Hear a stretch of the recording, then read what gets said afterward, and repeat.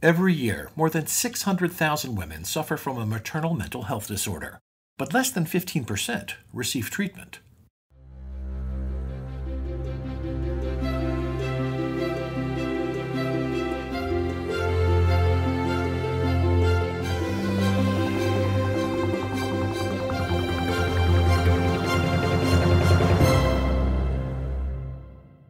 Welcome to Advancing Health, a podcast from the American Hospital Association. I'm Tom Haederle, Executive Speechwriter with AHA. Joining Aisha Syeda, Program Manager at the AHA, is Dr. Nirmaljit Dhami, Medical Director of Inpatient Perinatal Psychiatry at El Camino Health, and Dr. Alpa Shah, Director of the Perinatal Mental Health Clinic at Marshfield Clinic Health System. Our guests will describe their work to reduce the prevalence and impact of maternal mental health illnesses such as depression and anxiety. Thank you, Tom. Dr. Dhami and Dr. Shah, thank you for speaking with me today. Both of you have contributed in designing initiatives to combat depression and anxiety in new and expectant moms. Dr. Dhami, let's start with you. Can you describe the work you are doing through El Camino Health's Maternal Outreach Mood Services, also known as the MOMS program, which I understand reaches both inpatient and outpatient settings? Yes, absolutely. Thank you for having me here. And I'm Nirmaljit Dhami. I'm the medical director of the inpatient perinatal psychiatry unit. El Camino Hospital launched an intensive outpatient program targeting perinatal population in 2008. At that time, it was the first one on the West Coast and probably amongst handful in the country. And what prompted this was a sad event in the community that then led to a task force being formed and eventually the program being launched. From 2008 onwards, the program grew.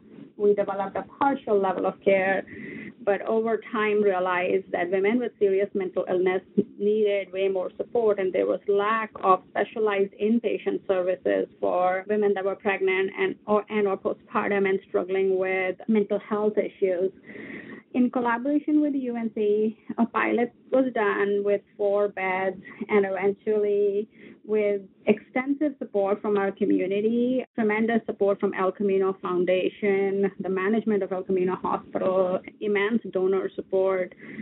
We were able to launch a specialized unit for perinatal mental health issues, a specialized women's focused unit, and we opened it last year in August. And currently, we're in the process of collaborating with our existing OB and NICU services and helping more uh, with the integration of mental health services in obstetrics and NICU settings. So the MOMS program, which started off as an intensive outpatient program, grew from strength to strength and uh, resulted in the launch of this highly specialized inpatient psychiatry unit, and I believe it's the third one in the country. And currently, we treat mothers with severe mental illnesses across the spectrum, so from inpatient to partial to intensive outpatient, and then we transition them to outpatient level of care. That's wonderful. Thank you for sharing that. I'm excited to hear um, what those outcomes are like post integrating this uh, program into both inpatient and outpatient settings. Dr. Shah, you lead the perinatal mental health clinic at Marshfield Clinic. What sparked the creation of this and what does it offer to moms?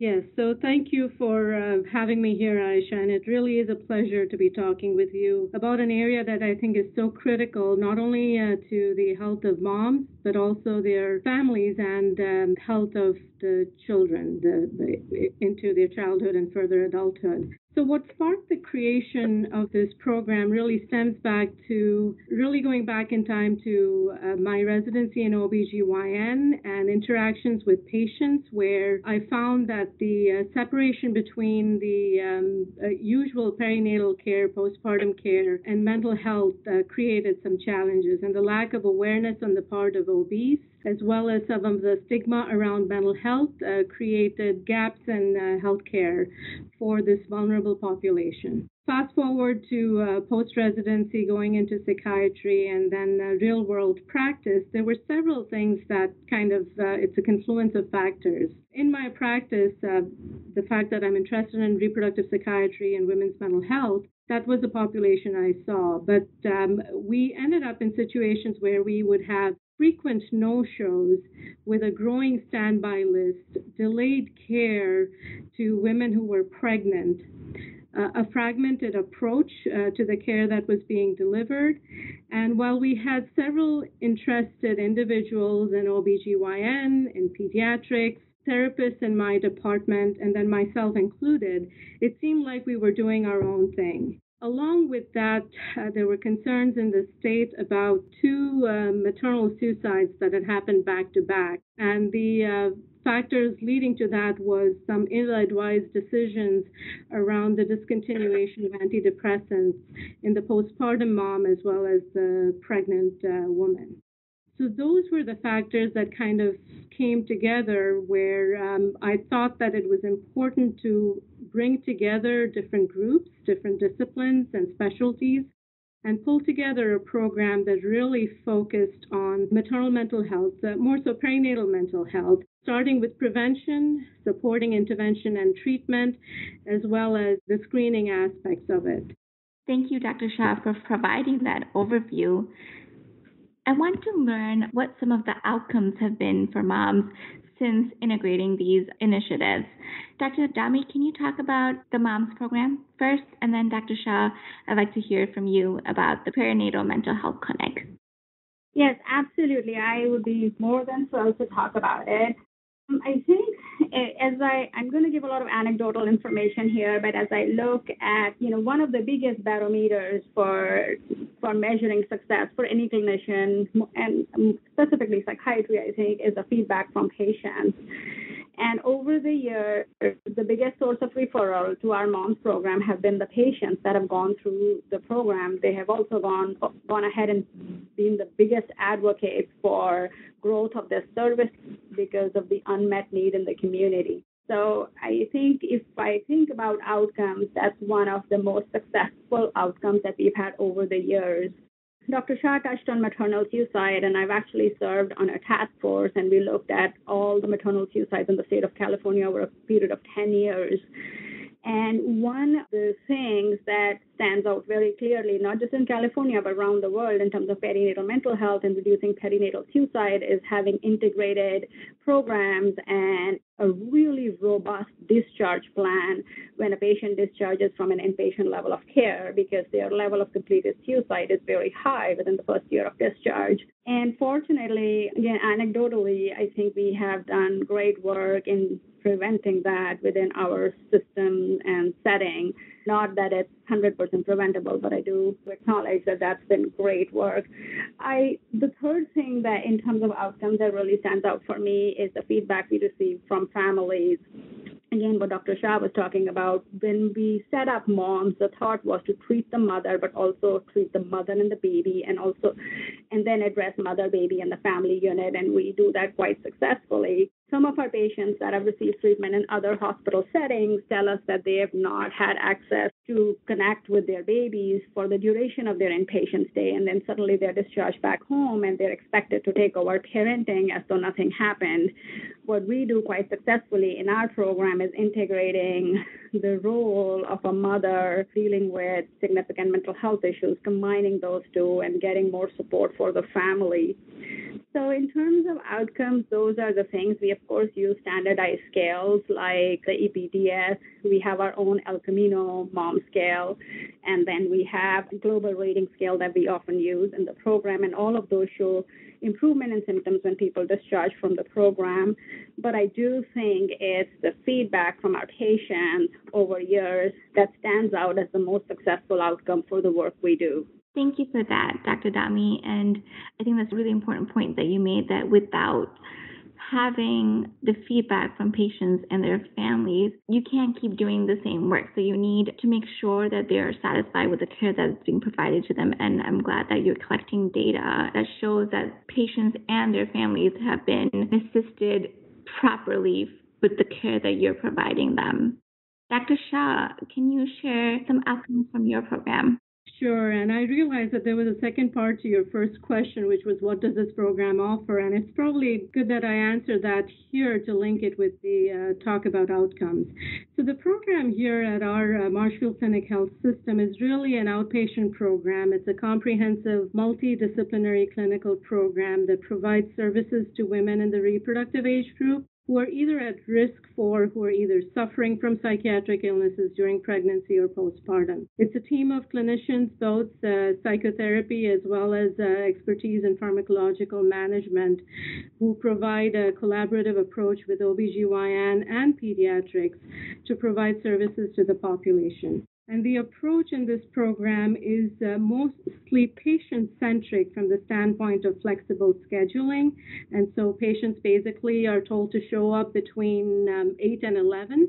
And as long as they show up in that time frame, they will uh, get seen. This addresses some of the barriers that uh, women in this age group, this population experiences as far as making it to appointments, transportation, cost of transportation, childcare, coordinating multiple appointments. So it's designed around the patient, the unique barriers, and the need to pull together different expertise and do that in a coordinated and collaborative fashion. But the main thing um, I think is the timely assessment uh, and intervention prevention. And with that in mind, we try to accommodate at least contact with the patients within 48 to 72 hours over the phone by a nurse, and then try to see them within the first week um, of the referral, so five to seven days. So, as we think about the outcomes, then, and not so much from the quantitative standpoint, but I think about it qualitatively and in terms of trends and whether the program really delivered on what it was intended to or designed to deliver. And we wanted to make sure that we were identifying women early and they were getting in to see uh, the clinicians in a timely fashion. And with this program, we have seen that the um, wait time to appointments has dropped.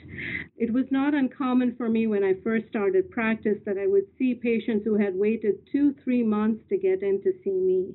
Or the referring clinicians, the OBs in primary care, were referring patients long after the woman first started struggling. So I would see patients mostly as a referral for postpartum depression and often six months and later postpartum. And what we've seen is a change in the trend as far as the pattern of referrals and the timing of referrals. It's uncommon for me to see a patient who is past two or three months postpartum.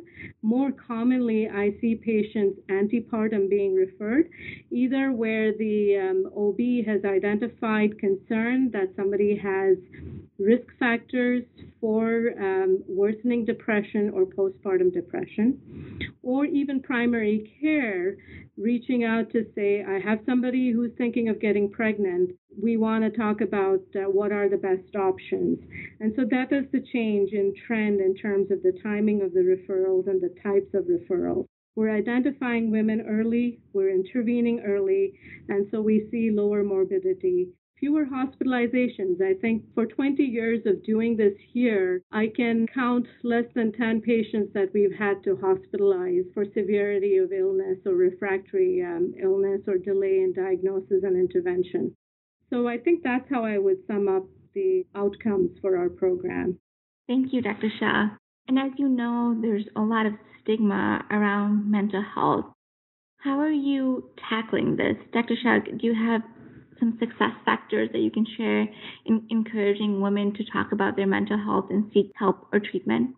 Yes, definitely. And I think it goes back to the basics and some fundamental key principles around raising awareness and education. And before we get to, uh, you know, raising awareness among women, they really follow their doctors and listen to their doctors. So the education and awareness starts with primary care, with OBGYN, and with pediatrics normalizing the fact that there is depression and anxiety during pregnancy, the myth about that being the time of well being.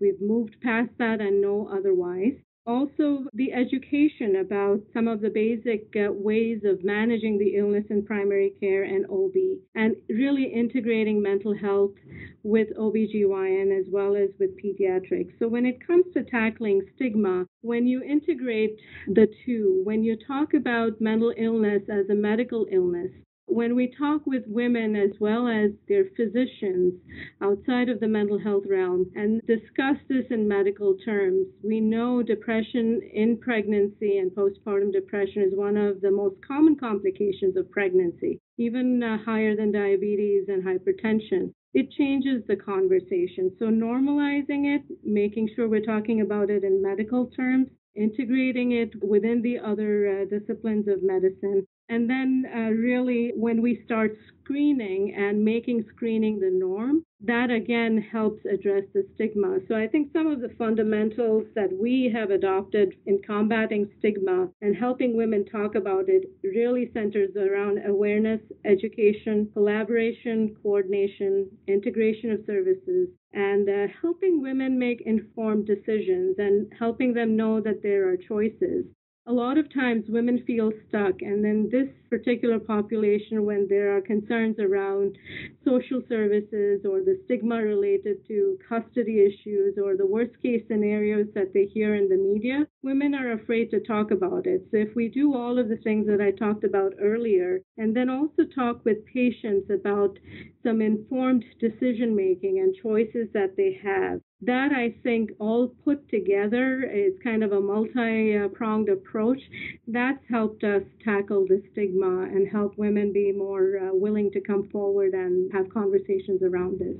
Those are some great suggestions, Dr. Shah. Thank you for sharing that. Dr. Dhami, we know that good mental health shouldn't be temporary. It should span throughout the life of an individual. How should hospitals work towards creating solutions for better mental health throughout a woman's lifespan? Oh, thank you, Aisha. This this answer may take forever, but I'll try to keep it succinct. So first of all, I want to kind of take a step back and look at it globally. I, I think that El Camino Health is really the trailblazer for providing inpatient and outpatient perinatal services in, in the country. And if we look around the world, you know, there are many other countries that have done this quite well. A lot of countries in Europe have provided really good and successful care for women in hospital-based settings. I agree with you. Mental health should span the lifetime of an individual. And for women, there are certain times when the mental health crises are, you know, peak or they have a higher likelihood of developing a mental health issue. Pregnancy is one of them. So it's really a gateway for all of us to help a woman deal with mental health issues. And I do agree with the talk about the shame and the comment about shame, stigma, you know, educating people, integrating services I think for hospitals, it's critical to really think about integrating women's mental health at every level and different and in different services. What really saddens me is the lack of that integrated care in inpatient psychiatry units across the country. And I think that's really unfortunate. It not only leads to poor level of care for the patient, but down the lane also poor consequences for the entire family unit. And there's tremendous research on that. So hospitals can do a lot more, I think, at multiple levels, you know, in terms of financial planning and how they think about direct and indirect costs and committing to support these initiatives, fundraising with the communities, you know, soliciting donor support, reaching out to local law enforcement, reaching out to providers, reaching out to individual organizations, reaching out to shelters. I think the hospitals can do tremendous work in that. Most hospitals have resources to do it. One thing that I also want to point out that can be easily done by a lot of hospital settings is providing free education. For example, El Camino does a free symposium every year to support perinatal mental health, and our foundation supports it. But it's a free symposium. We get people from speakers from around the world discuss perinatal mental health issues. One integral part of that symposium is a peer panel in which patients that have gone through mental health issues come forward with their stories and also what they think has benefited them and what has not worked for them.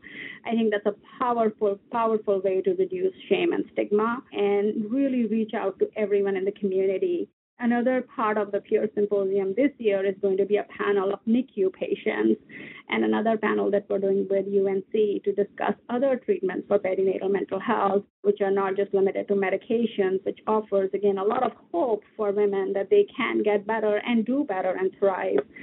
So I do think that hospitals can do tremendous amount of work. I also believe that there is tremendous community support to support that work, but there needs to be a critical shift in thinking and supporting women's health issues and women's mental health issues for that work to be undertaken. Thank you, both of you, for sharing insights and outcomes from your um, programs at your respective hospitals. For more information around maternal mental health, please visit our website at aha.org and let us know what you are doing around maternal mental health. Thank you for your time today.